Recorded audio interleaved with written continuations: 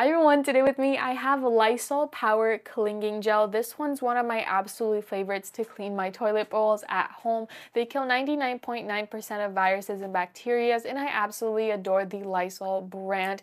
So I got the value pack that comes with two of them so I can keep each in a bathroom. Now the cap is one of my favorite things. All you gotta do is press and twist and it's open and ready to use and to close you just twist it back and there you go, it's closed. All you gotta do is put a little bit in your toilet bowl all the way around, let it sink in, and then scrub it away and flush it out. It is super great, makes my job and that task of cleaning super, super quick and easy. So I definitely recommend you check these out on Amazon.